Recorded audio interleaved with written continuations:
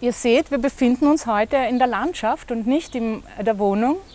Berlin wird meiner Traumstadt immer ähnlicher. Mein Traum ist nämlich eine Großstadt ohne Autos. Stellt euch vor, wir könnten diesen ganzen Platz, den die Kisten verbrauchen, für uns nutzen und wir könnten Frischluft atmen, ohne Feinstaub und ohne Abgase. Das ist mein absoluter Traum von der Zukunft. Hallo, ich begrüße euch jetzt herzlich zur zehnten Ausgabe des Corona-sicheren Seminars. Es gab eine Pause zwischen der letzten Folge und dieser. Äh, die Studenten und ich haben, wir haben uns äh, via Zoom-Konferenz getroffen und gemeinsam die Entwicklung der Geschichten ähm, besprochen. Also das Feedback, das die Studierenden sich gegenseitig geben, ist genauso wichtig wie das Feedback, das ich ihnen gebe. Weil Comics sind ja eine Kommunikationsform, das heißt, sie müssen von allen verstanden werden und nicht nur von Spezialisten. Ich habe natürlich Erfahrung darin, wie man Dinge besser machen kann, aber die Kollegen können sagen, wenn sie etwas nicht verstanden haben. Ne? Also Sie können das Publikum spielen und Sie können lernen, wie man äh, Feedback gibt, damit die anderen das auch gut verstehen. Heute äh, ist es vorbei mit Feedback und Kritik. Heute wollen wir nur noch loben und preisen und wir wollen uns die fertigen äh, Comics anschauen. Leider ist es nicht möglich, alle Comics zu zeigen. Also ich habe jetzt hier eine kleine Auswahl äh, von äh, solchen Arbeiten, die mir besonders im Gedächtnis geblieben sind oder die sich besonders gut eignen. Oder die sich besonders gut eignen für diese Videopräsentation. Wir fangen an mit einer ganz äh, sachlichen Arbeit über Thunfischfang.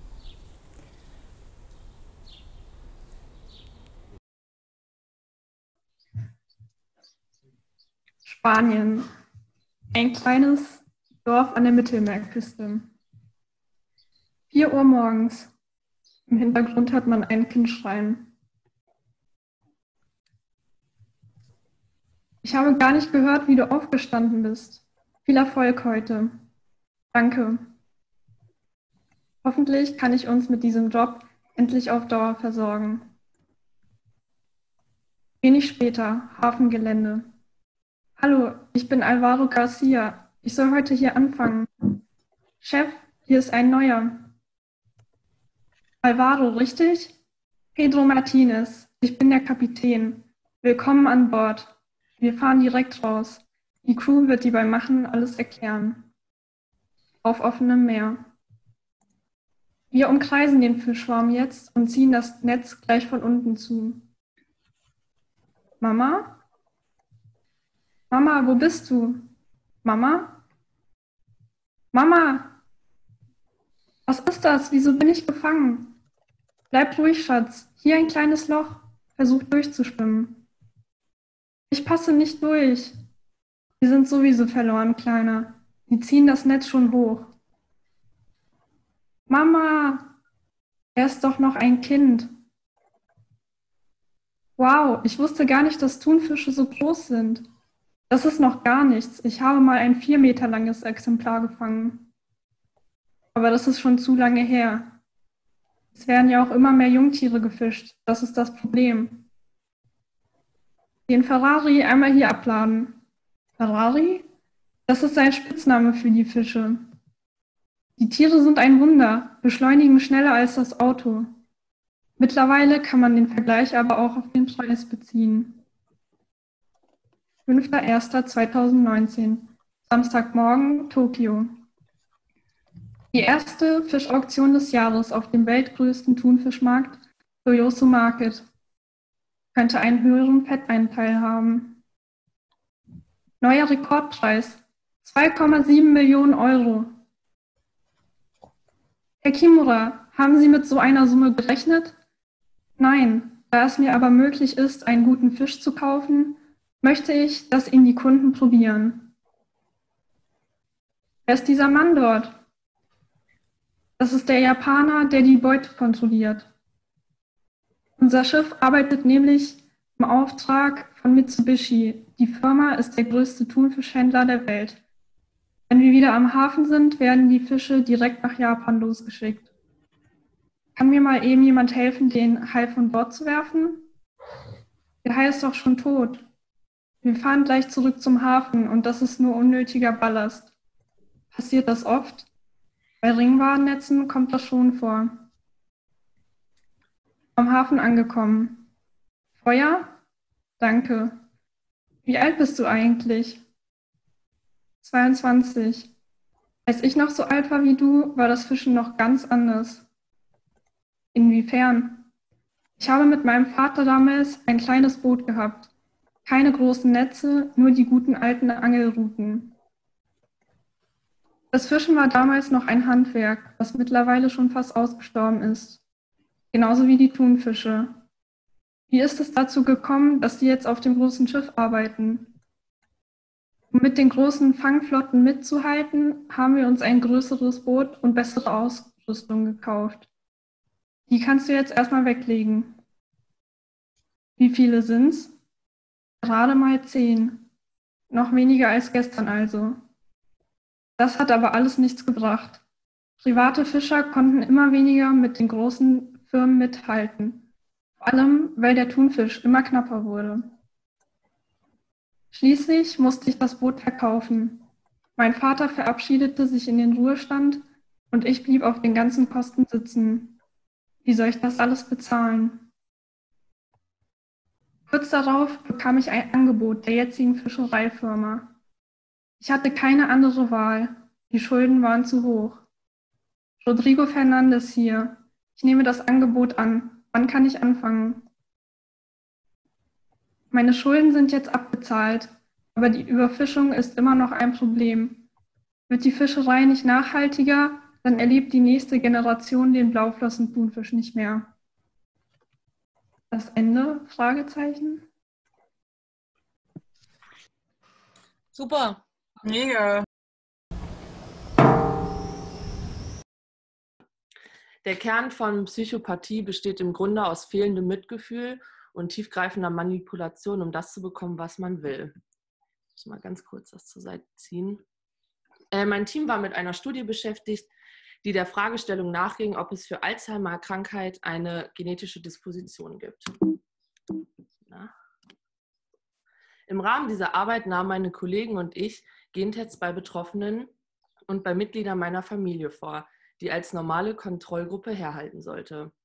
Als ich die Bilder meiner Familie studierte, bemerkte ich, dass ein Scan das typische Hirn eines Psychopathen zeigte.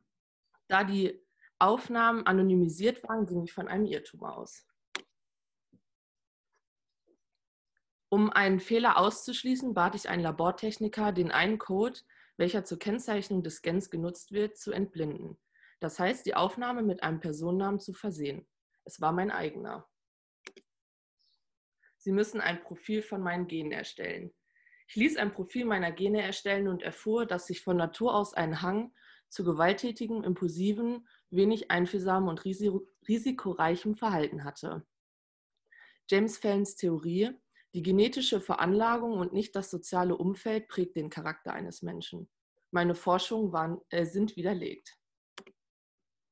War mein ganzes Leben eine Lüge? Warum bin ich kein Verbrecher geworden?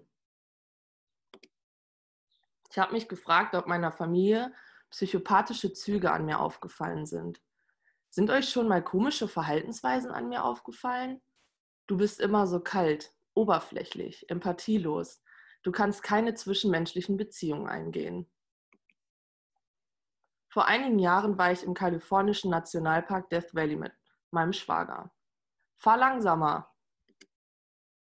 Mein Schwager hatte Todesangst. Ich spürte aber nur den Nervenkitzel.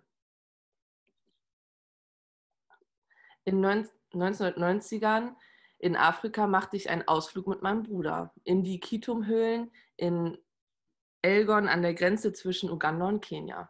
Nach zwei Jahren fand er heraus, warum. Hast du mich vor zwei Jahren wirklich nur zu den Höhlen geführt, um zu gucken, ob dort das tödliche Marburg-Virus entstand? Wir haben sogar dort gezeltet. Bist du wahnsinnig? Meine Mutter machte mich darauf aufmerksam, dass ich mich doch mal mit der Familiengeschichte meines Vaters auseinandersetzen sollte. Mein Cousin hätte auch ein Buch geschrieben, welches sich damit beschäftigt. Der Tod von Rebecca Cornell, der erste Muttermord, Hauptverdächtige Lizzie Borden, Axtmord an ihrem Vater und Stiefmutter. Um das Thema besser verarbeiten zu können, beschloss ich alles niederzuschreiben. Viele Geschichten sah ich nun aus einem ganz anderen Blickwinkel. Der Psychopath in mir ist auch der Titel seines Buches. Vor ein paar Jahren wollte ich abends noch, ein, noch in eine Bar. Auf dem Weg habe ich einen Unfall beobachtet und direkt erste Hilfe geleistet. Ich drückte dem Schwerverletzten mit bloßen Händen das Blut ab. Der sterbende Mann röchelte. Für andere wäre das ein Horror gewesen. Mir gab das Ganze einen Kick. Ich ging danach regelrecht beflügelt in die Bar, um bei den Kollegen mit den schrecklichen Details zu, pra zu prahlen. Ich führte andere auch immer wieder in Gefahr, allein weil mir das einen Energieschub gab. Ihr glaubt nicht, was mir passiert ist. Wenn ich mein Verhalten genau analysiere, ist streng genommen alles eine Lüge. Wirklich alles. Auch wenn ich denke, dass ich nie lüge, lüge ich doch die ganze Zeit.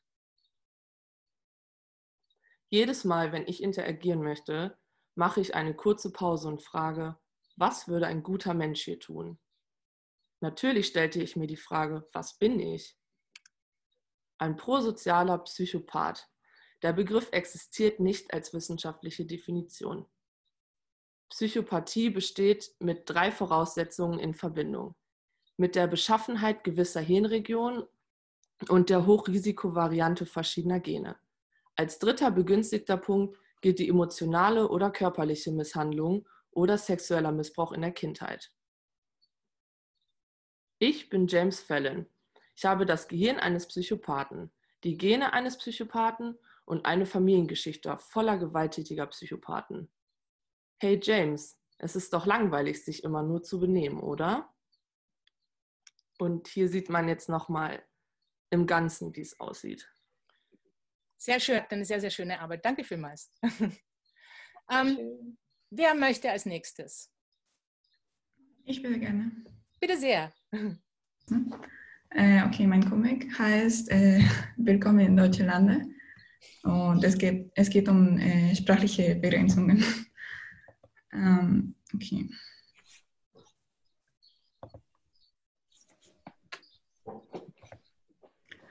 Meine Tante, meine Tante meinte immer, jede Sprache habe seinen eigenen Zweck. Auf Spanisch spricht man mit Gott. Auf Französisch redet man mit seinen Geliebten. Und auf Deutsch spricht man mit seinem Feind. Schon mit fünf Jahren bin ich zum ersten Mal in Kontakt mit der deutschen Sprache gekommen. Und seitdem wurde ich sie nie wieder los. Beim Erlernen der Sprache sind mir ein paar Besonderheiten aufgefallen. Als ich 16 war, bin ich in einem Internat in Bayern gelandet. Bis dahin hatte ich bereits elf Jahre lang Deutsch gelernt und war für alles bereit. Hallo, grüß dich, wie geht's da? Können wir miteinander was trinken? Oder eben auch nicht? Was? War das überhaupt Deutsch? Es gab Ereignisse, die mich denken ließen, mein Deutsch wäre sehr schlecht. Kannst du mir bitte die Butter geben? Hier. Aber es ist der Butter. Ich bin mir ziemlich sicher, es ist die. Wer ist hier der Deutschmuttersprachler? Ich habe mich nicht getraut, weiter zu diskutieren. Aber ich wollte wissen, wie es richtig war. Also habe ich meiner Deutschlehrerin von dem Vorfall erzählt. Sie hat mir erklärt, es gäbe Endungen, die den Artikel des Wortes verraten.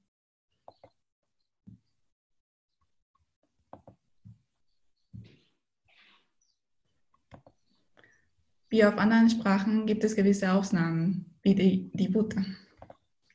Aber Dialekte, die bayerisch haben keine. Also sagt man in Bayern der Butter. Deutsch im Alltag ist anders, als ich es in der Schule gelernt habe. Es war ein Anpassungsprozess, aber nach einer Zeit habe ich mich damit abgefunden. Das hat mir dennoch Probleme gebracht, als ich Jahre später aufgrund meines Studiums nach Hannover gezogen bin. Servus, bist du, du bist in meinem Semester, gell? Soll das zweijährig sein? Aber dieser Akzent. In der Schule war ich nie gut in Chemie. Häufig traf mich die Frage, woher kommst du? aus Mexiko-Stadt. Ich mochte nicht, dass man es merkt. Aber trotz der vielen Jahre Übung und des rastlosen Lernens fielen mir noch die grundsätzlichen Dinge schwer. Und dann dieser, ähm, dieses, was für ein Artikel hatten da ich? Teilweise, weil sie nicht genauso ins Spanische übertragbar sind. Das hat sich als ein Problem bewiesen, welches deutsche Leute häufig in mexikanischen Restaurants erleben. Dies liegt an der Kennzeichnung der Toiletten. Denn leider sind auch da die Geschlechter der Wörter auf Spanisch umgekehrt. Äh. Sorry. Die deutsche Sprache hat aber auch viele Vorteile. Vor allem, wenn es um Wortbildung geht. Nehmen wir das Wort Flugzeug. Damit bezeichnet man ein Zeug, das fliegt. Es könnte nicht einfacher sein. Guten Appetit. Ein anderes lustiges Beispiel. Eines Tages saß ich gemütlich am Teich. Dann ist mir etwas Interessantes auf der Wasseroberfläche aufgefallen. Zum Glück war ich bei einer Freundin, die sich mit Natur auskennt. Wie heißen diese kleinen Tierchen, die auf dem Wasser laufen? Das sind Wasserläufer.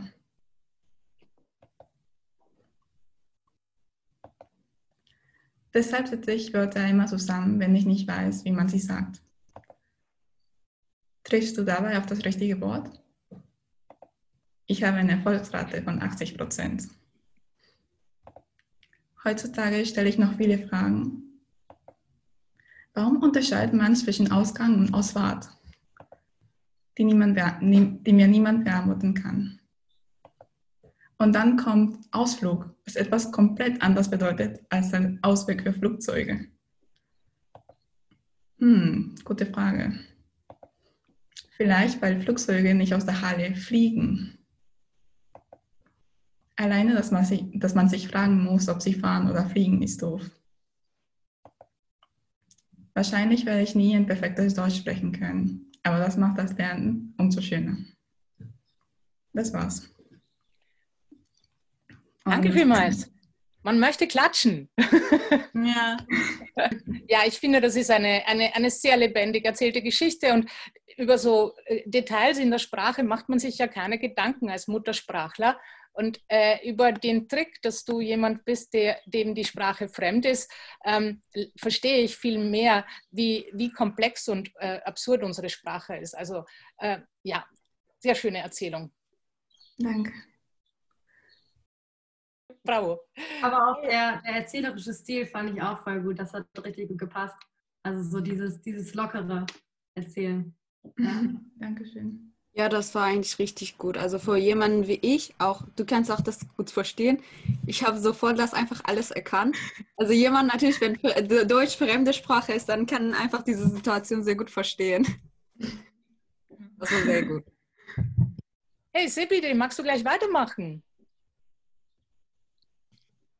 Die Geschichte, was äh, ihr gleich ähm, sieht oder ich das äh, vorlese, es ist äh, mein Leben, also es ist tatsächlich in Realität passiert und äh, das ist äh, quasi genau eineinhalb Jahre, bevor ich nach Deutschland gekommen bin. Genau, meine Geschichte heißt äh, Die Prüfung. Jetzt geht es um alles. Ich habe nur ein Jahr Zeit. Willst du mitkommen? Es ist dein Geburtstagfeier deiner Cousine. Nein, Mama, ich muss lernen. Zwei Monate später. Sepide, hast du deinen Koffer gepackt? Gleich, Mama, erstmal lernen. Liebes, nimm keine Buscher mit. Das ist eine Flugreise nach Europa. 14 Tage ohne etwas zu lernen? Nee, Mama, vergiss es.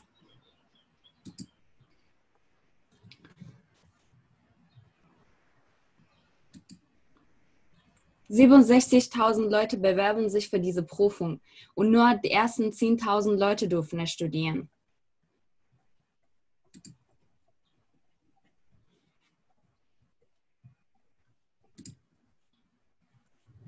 Ich werde diese Prüfung schaffen. Drei Monate später.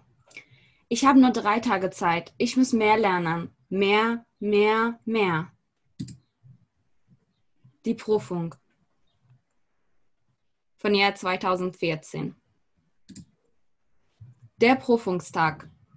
University of Art. Sie dürfen nicht miteinander sprechen. Es gibt keine Alternative. Es geht um mein Leben.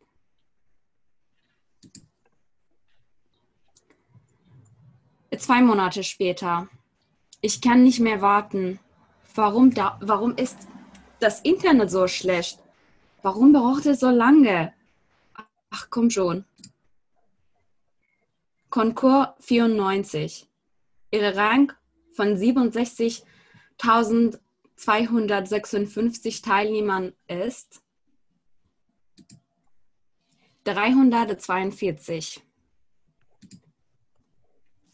Herzlichen Glückwunsch, meine Liebe. Ich bin stolz auf dich. Oh mein Gott, ich darf studieren. Ich wusste es. Vier Wochen später. Shariati Technical College. Ich hatte immer Spaß bei den Vorlesungen. Es war anstrengend, aber auch amüsant. Ich habe neue Freunde gefunden. Rückwärtsstadt war immer lustig. Elham, wie wollen wir die Farben von den Händen abbekommen? Ach nee, daran habe ich überhaupt nicht gedacht. Beim Zeichnenkurs habe ich immer schon Erinnerungen erlebt. Wollen wir nachher in die Mensa? Ja, bin dabei. Ich frage noch Rabea, ob, ob sie mitkommen würde. Alles lief super bis zu diesem einen Tag. Sepide, komm, Essen ist fertig. Ich sollte euch etwas mitteilen. Wir haben uns entschieden, nach Deutschland zu fliegen. Und zwar für immer. Wirklich? Was? Aber meine Uni, meine Freunde, nein, ich komme nicht mit. Wir haben ein großes, größeres Problem. Ich bin in Gefahr. Und deswegen müssen wir weg von hier. Ihr müsst auf eure Mutter hören und fliegen.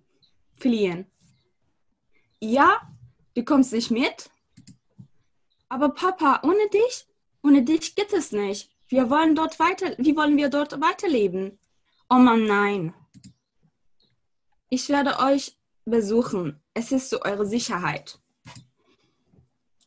Ich fange ab morgen die unnötige Sachen zu verkaufen. Nächster Tag. Elham, wir werden nicht mehr hier bleiben. Was? Wirklich? Ich Schwer zu glauben, aber es ist wahr. Ich muss mich von allen verabschieden. Ich werde meine Freunde vermissen. Wie soll ich dort studieren? Was passiert gerade? Oh nein, ich muss auch noch Deutsch lernen. Ein Tag vor der Abreise. Liebe Sepide, wir werden uns wiedersehen. Hab dich lieb, Ella. Pass auf euch auf. Ich werde dich vermissen. Komm bitte schnell zu uns.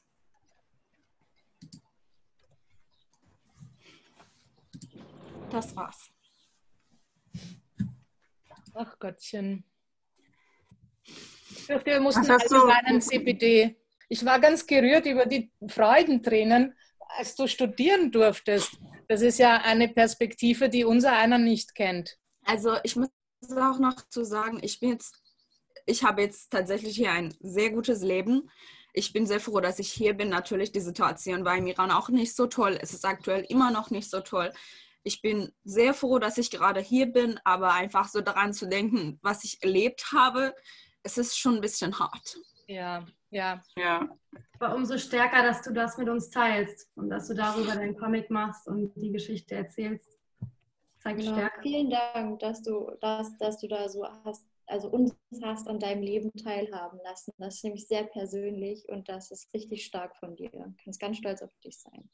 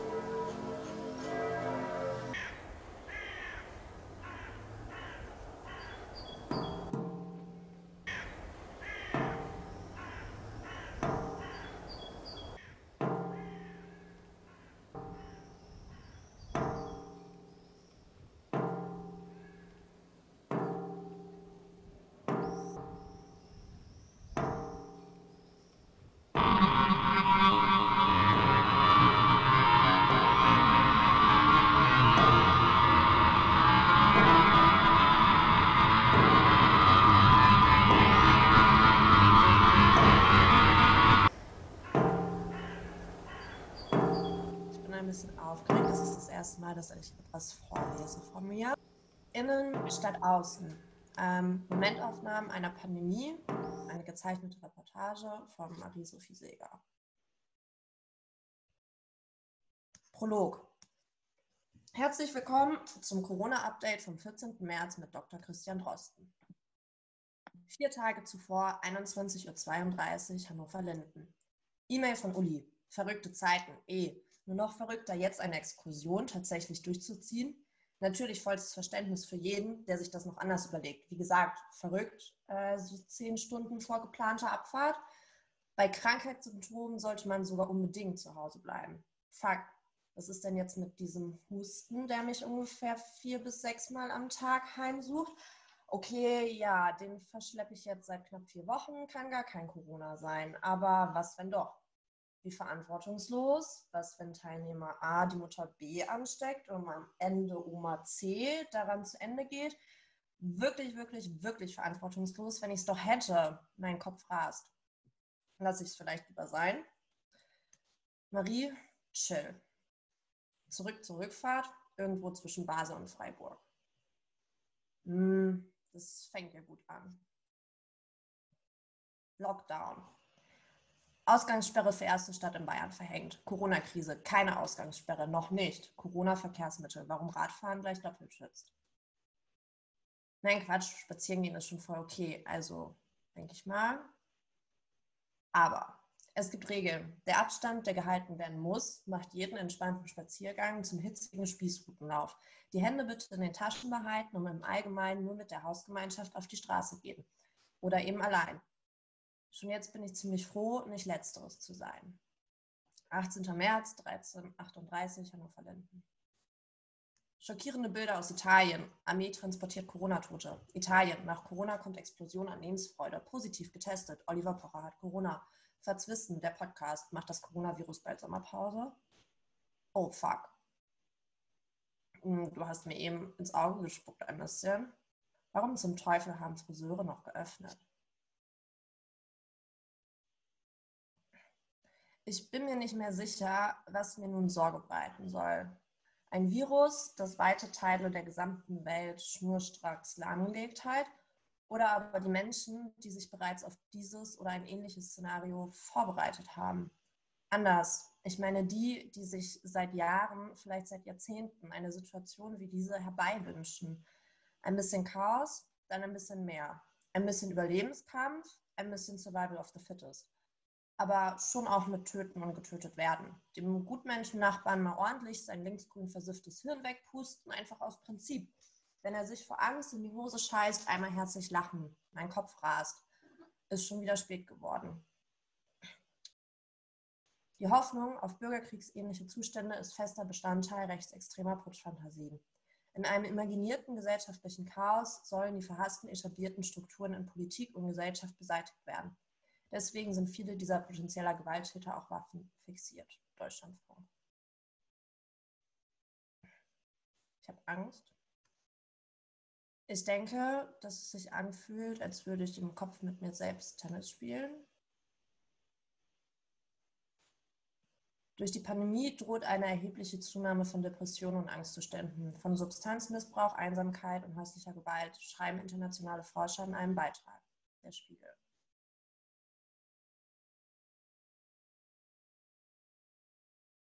Ich dachte, aha, ja, super, danke dir. Ähm, wir waren ganz bei dir. Wir waren ganz drin in deiner Erzählung. Ähm, Michelle, möchtest du weitermachen? Ja, kann ich gerne. Genau. Meine ähm, Reportage heißt Zuhäuser.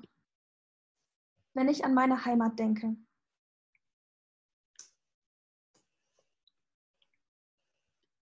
Immer diese Touris, Los, die Kamera. Traumhaft. Wow, ist das schön hier. Klick, klick, klick, klick. Wer nicht von hier kommt, sieht nur die äußere Fassade. Für einen Moment scheint es, als würden wir das Gleiche sehen. Doch wenn ich zu diesen Häusern blicke, weckt jeder Stein, jedes Detail in mir eine Erinnerung.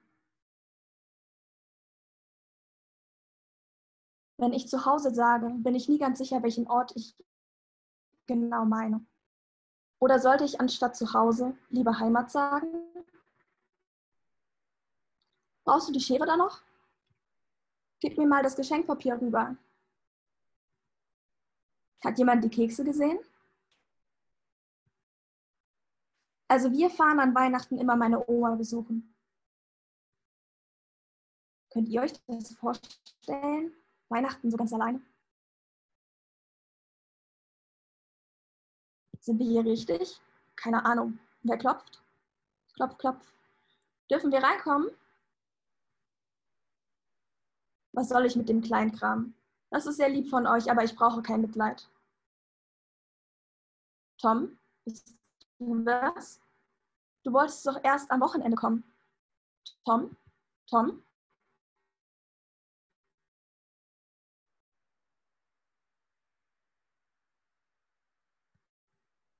Mein Mann hat diese Käse im Garten.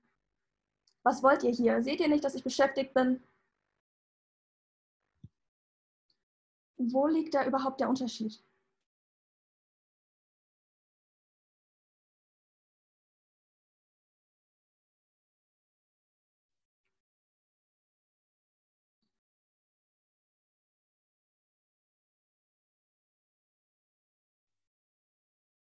Wenn man umzieht, ändert sich das Zuhause. Aber nicht das, was man seine Heimat nennt. Schnief, schnief. Komm, mein Schatz, die Ärztin wartet schon auf dich. Mit der Spritze.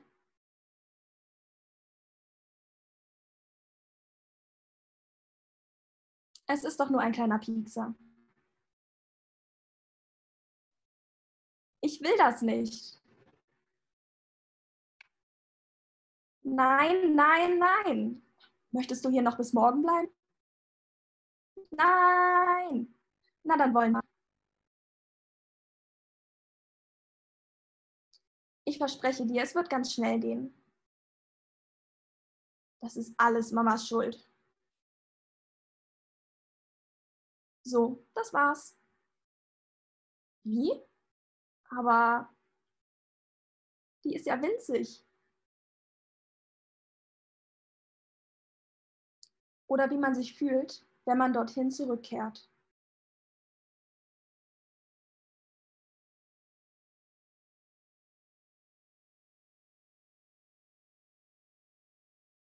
Was verbindet mich eigentlich mit einem Ort?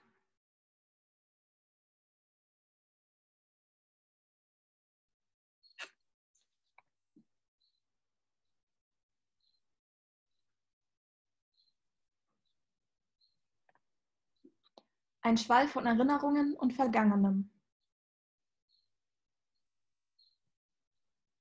Ohne Dücker, ohne uns. Unsere Bühne, unser Zuhause. Lasst uns spielen. Junge Bühne. Rettet das Theater. Der Jugend die Kultur. Wir wollen Dücker. Die Erinnerung verblasst mit der Zeit. Quietsch, quietsch. Sag mal du. Ja. Wo kommst du eigentlich her? Na, von hier. Ich wohne gleich die Straße da hoch. Aha. Quietsch. Quietsch. Das meinte ich damit gar nicht. Hm? Ich weiß doch, wo du wohnst.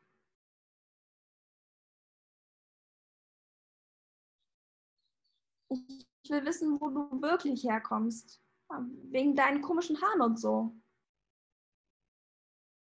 Aber das habe ich doch schon gesagt. Von hier.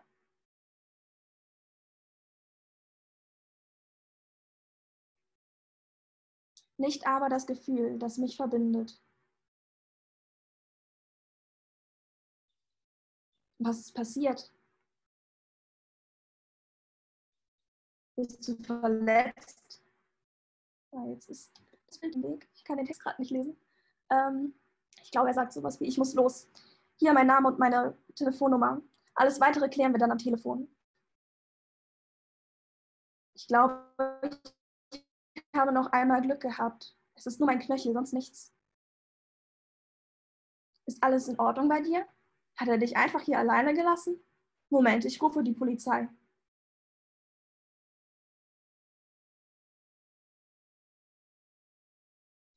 Nicht wirklich greifbar, aber immer da.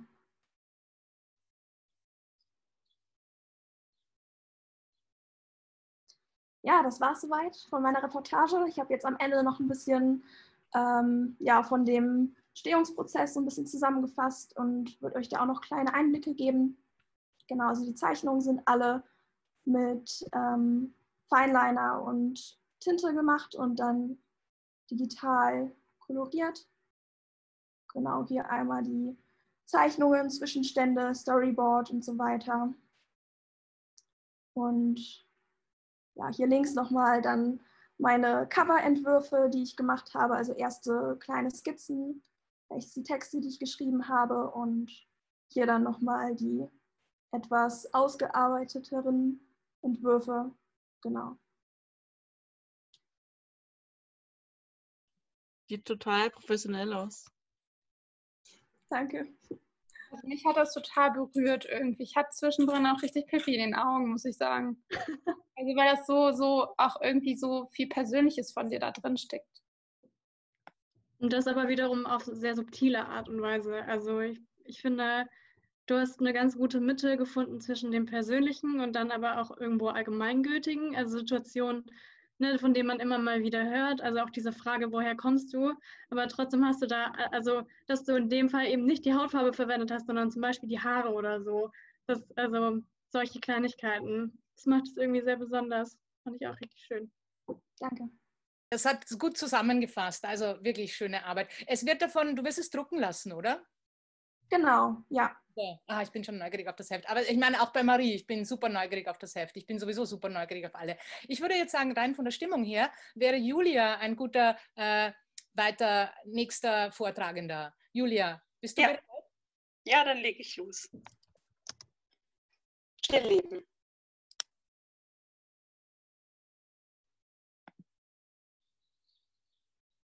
Isolation ist kein räumlicher Zustand. Ich bin mir jetzt sicher, nichts ist sicher im Leben.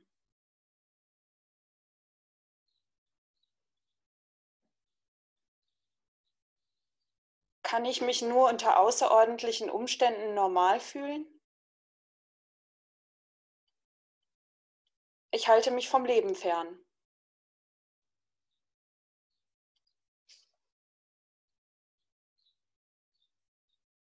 Und bleibst du heute etwa auch zu Hause? fragst du, ohne eine Antwort zu brauchen. Vielleicht ist es mit sauberen Ohren leichter auf sich selbst zu hören. Schönheit liegt im Auge des Betrachters. Realität auch.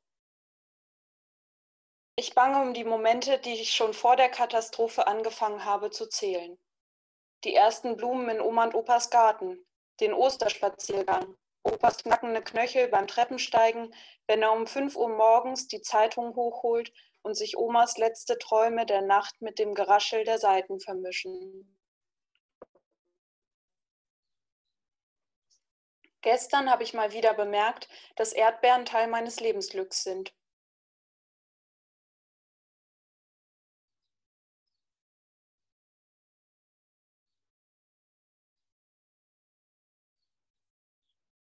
Es ist Zeit für uns, antwortest du, als ich dich frage, wie spät es ist. Atme ein, atme aus. Atme ein. Im Regen Fahrrad zu fahren ist wie Duschen in Bewegung. Das salzige Wasser rinnt mir über die Lippen und ich bin mir nicht sicher, ob es Regen oder Rotze ist. Jetzt habe ich Durst. Tropfen zu atmen fühlt sich an wie Ertrinken, nur schön, als würde sich der frühsommerliche Dschungel randvoll mit Regenwasser füllen und ich in ihm untertauchen. Während ich den Fahrtwind spüre und mir nicht sicher bin, ob ich weinen oder lachen soll, verschwimmt die Wirklichkeit in sattem Grün wenn ich vor Glück fast platzen und mit meiner Freude die Straßen schwemmen könnte. Mit dem Regen fällt auch die Entscheidung, dass es schön ist, hier zu sein. Und würde es immer so sein wie gerade jetzt, wäre es nicht schade, dass es nichts mehr gäbe, was noch schöner ist?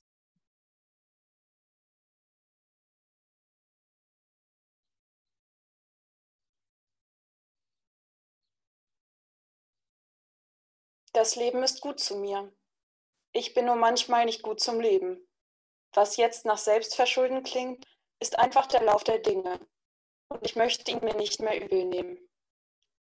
Ein Versprechen, das sich ebenso gut halten wie brechen lässt. Was der nächste Tag bringt, weiß nicht mal der Morgen selbst. Also wiege ich mich in dem Vertrauen, Stunden zu verbringen und mein Glück mal selbst und mal selbstlos an die Hand zu nehmen. Das Leben ist zu kurz, um zu bedauern, dass ich nicht eine andere bin. Heute Abend hat es in meinem Zimmer zum ersten Mal nach Sommer gerochen. So, so viel erstmal zu dem Ausschnitt aus meinem Buch, was bald kommt. Vielen Dank. Die Bilder haben eine irrsinnige Wucht am Bildschirm. Durch dieses das freut mich. Die sind großartig, Julia.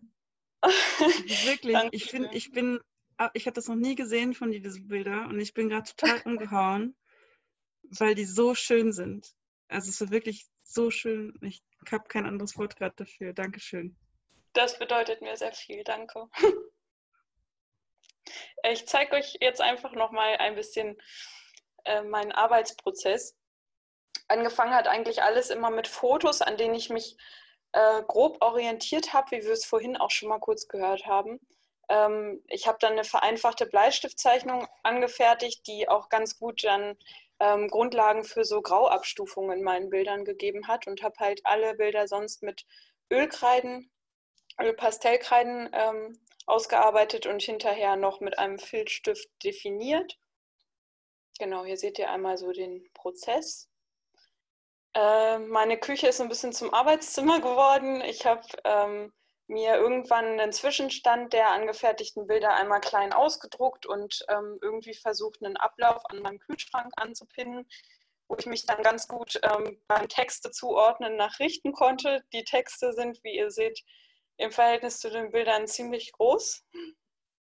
Ganz einfach, weil sonst die Struktur des Wachsmalers nicht richtig rüberkommt und man mit diesen groben Stiften ähm, einfach nicht so klein schreiben kann. Wie hast du dir, eine kurze Frage, dann so runterskaliert, dass es nicht verpixelt ist? Also runterskalieren geht ja immer ganz gut, ohne dass es äh, okay. verpixelt. Deshalb ähm, war ich damit irgendwie auf der sicheren Seite. Äh, ich habe. Fotos gemacht, ich habe die nicht eingescannt oder so, geht ja auch nicht, aber äh, genau, und dann freigestellt. Ähm, manchmal musste ich so ein bisschen händisch noch spationieren, manchmal habe ich das am PC gemacht. Hier seht ihr meine Füße. Und das war's. Herzlichen Dank. Danke euch. Okay, jetzt haben wir eigentlich nur noch Mel übrig, wenn ich das richtig sehe. Genau, ja. Und Alright. ein Ausschnitt quasi das erste Kapitel Heimkehr. Heute ist der letzte Tag meines Praktikums gewesen. Nun bin ich wieder auf dem Rückweg, nachdem ich ein halbes Jahr auf diesem Hof gelebt habe. Die Zeit hier war echt gut, aber dennoch habe ich einiges an Belast hier gelassen. Ich bin echt froh, wieder in die Stadt zu ziehen und neue Leute kennenzulernen. Die Strecke scheint unerschöpflich lang zu sein, etliche Kilometer Autobahn. Hm, naja, eigentlich sind es nur zwei Stunden Fahrt, aber ich hasse Autofahren. Klick. Nächstes Wochenende ist eine Partyreihe in Hannover geplant. Noch ist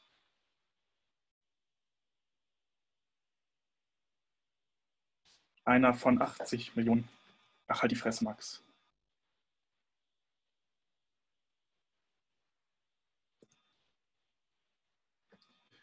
Ich habe noch nie verstanden, wie so viele Menschen gleichzeitig sich der Gefahr aussetzen können, sich in eine Situation zu begeben, aus der sie selbstständig nicht mehr rauskommen.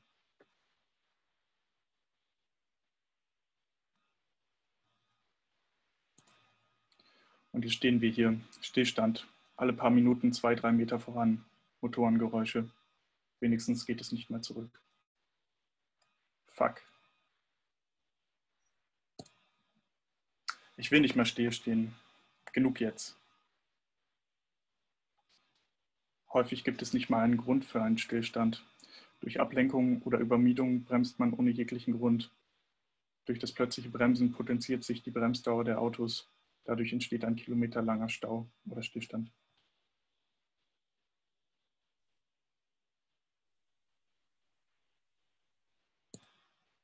Endlich zu Hause.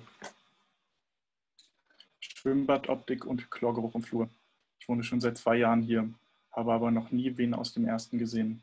F. Tank steht am Klingelschild. Letztens meinte mein Mitbewohner, dass dort ein Floating Tank drin sei. Tap, tap. Moin Digi, bin endlich wieder zu Hause. Hast du Lust auf ein, zwei Bierchen? Sag mal, kommst du vom Mond? Ich bin seit einer Woche in Quarantäne. Solltest du auch sein. Ich bin in der Risikogruppe. Mach keine Faxen, ey.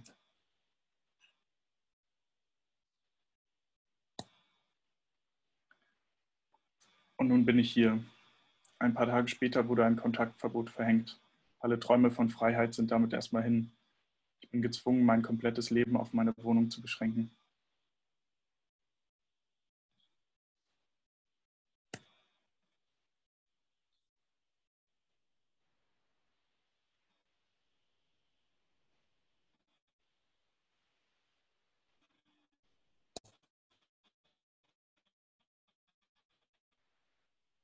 Ich kann ja eh nirgendwo hin. Mein Lebensraum wird immer kleiner. Ja, das ist das erste Kapitel. Jo, wir sind echt geblättet von den Bildern. Voll Ja, mega. Echt super. Danke. Auch diese Autobahnszene, wo das so alles so total verdreht ist, kommt richtig gut, finde ich. Ich finde das auch, das ist eine echt gute Arbeit. Da, da, man, man merkt einfach, dass du dich schon einige Jahre jetzt beschäftigst mit Bildsprache und verschiedenen Stilen und dass du ganz viel ausprobierst. Und das ist hier so ein bisschen, kommt mir vor, wie du fährst jetzt schon langsam die Ernte ein. Ich hoffe doch irgendwann mal, das Ja. anfangen zu können. Es ist echt Ja. wirklich amtlich. Amtlich, echt schön.